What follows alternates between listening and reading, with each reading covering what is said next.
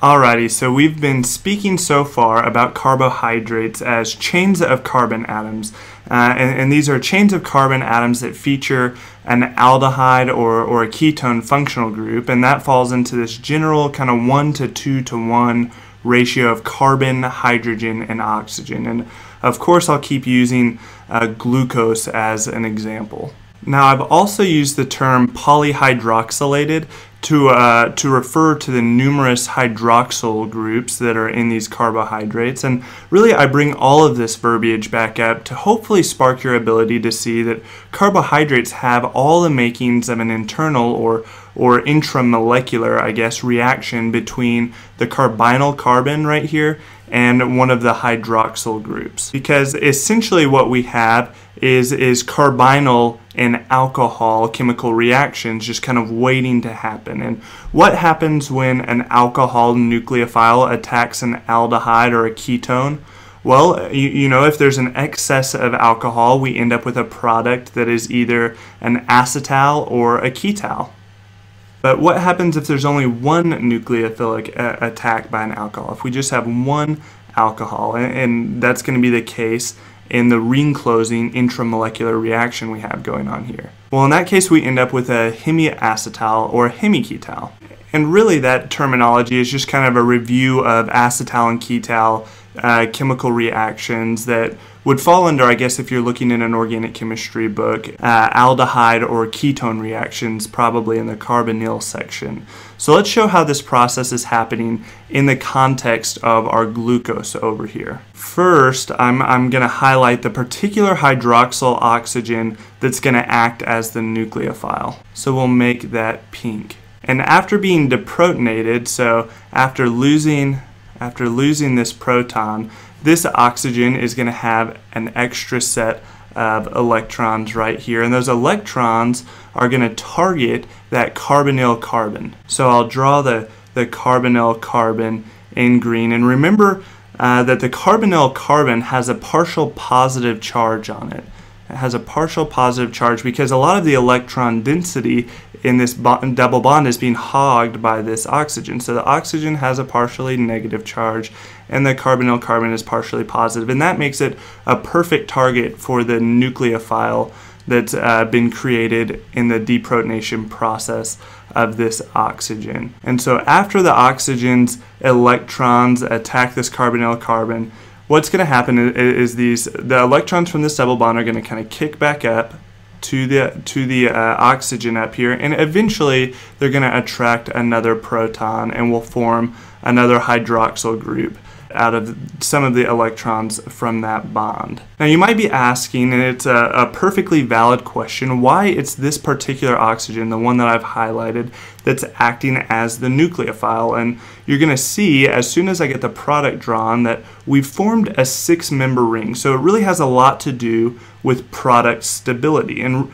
if you remember, the, the basis for the formation of the ring in the first place was the, the increased stability over the straight carbon chain. So it makes sense that we're going to form the most stable ring that we can.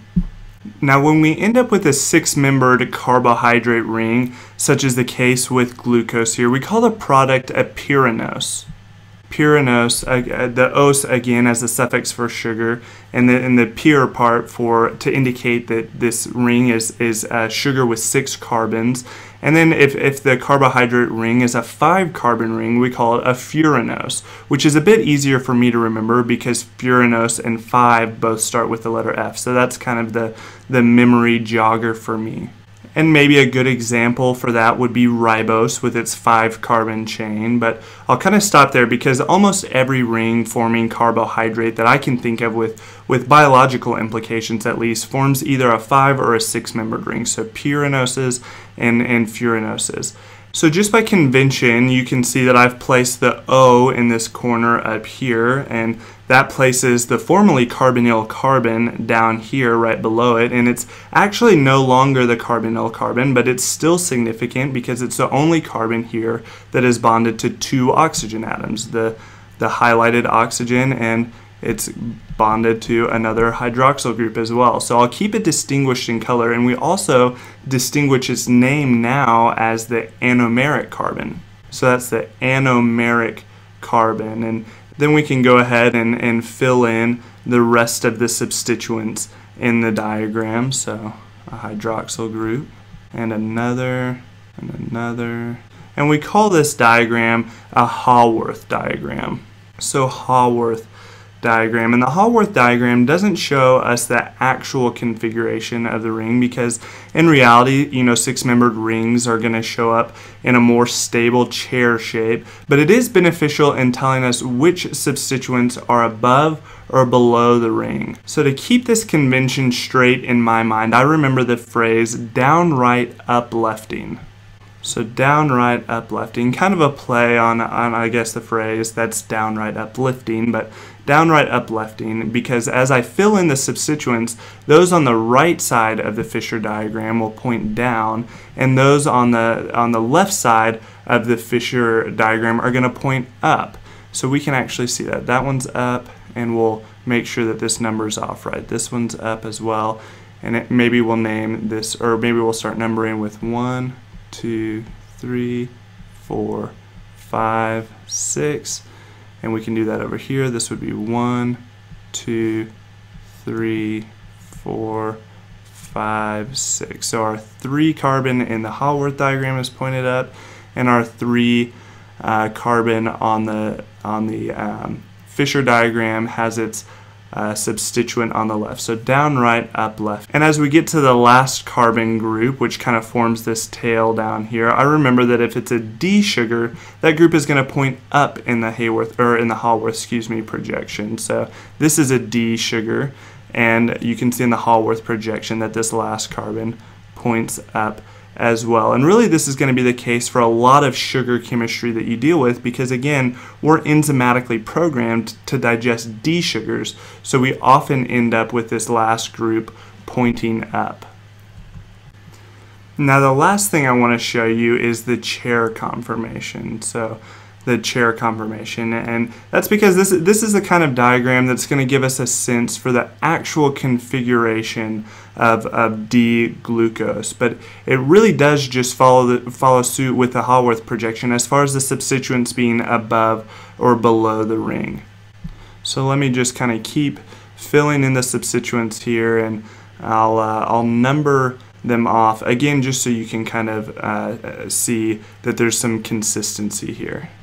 So we've got one, two, three, four, five, six.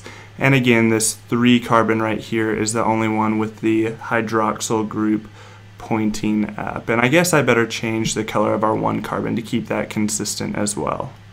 Now, I didn't indicate the, the position of the anomeric carbon's hydroxyl group yet be because I, I, think it makes more sense to show it in this diagram. Rem remember, uh, excuse me, that the original nucleophilic attack by the oxygen uh, way back over here, that could have created two different products, one with an R configuration about the anomeric carbon and the other with the S configuration. So that last hydroxyl group can actually be in two different positions. On one hand, the hydroxyl group would be cis to the last carbon in the, in the equatorial position. So it'd be cis to this last carbon over here, and it's in the equatorial position, and we call this the beta anomer. Then on the on the other hand, I guess, it could be trans to that last carbon group, which would place it in the axial position down here. So I guess it could be down here in the axial position, and we call it the alpha anomer when the when the hydroxyl group is in the axial. And I kind of remember that a little bit easier. Alpha for the, the axial position of that substituent. And I guess I've also heard that fishies are down in the sea and birds are up in the air. So if that helps you keep them straight, you, you might be able to use that also. Now you've got to remember that what caused this ring to close in the first place was some amount of, of acid or base. And the um, amount of acid and base in water is actually kind of capable of doing that because that's what facilitated this ring closing process in the first place. And in water, the ring can actually open and close spontaneously. And when it opens up, the, the C1 and C2 bond right here can actually rotate and when it closes again, you can form the either the alpha or the beta product. So this thing is constantly opening and opening and closing um, to, to form the two different products. And we call that process where it opens and rotates and closes again mutarotation. So this thing is mutarotating in the water at all times. So mutarotation, and the outcome is that we end up with both configurations, the beta and the alpha, in the equilibrium concentration. So for glucose, that's going to be about 36% alpha and about 64% beta. And the reason that the alpha uh, configuration is less favored in equilibrium for glucose is because the transpositioning of the hydroxyl group creates some steric hindrance. But this is pretty individualized for different sugars. So I guess the most general rule, I suppose, that you could apply to all cyclic sugars would be to say that the beta anomer, uh, again, anomer, that the beta anomer uh, is the one with the anomeric oxygen in the cis position with respect to the last carbon.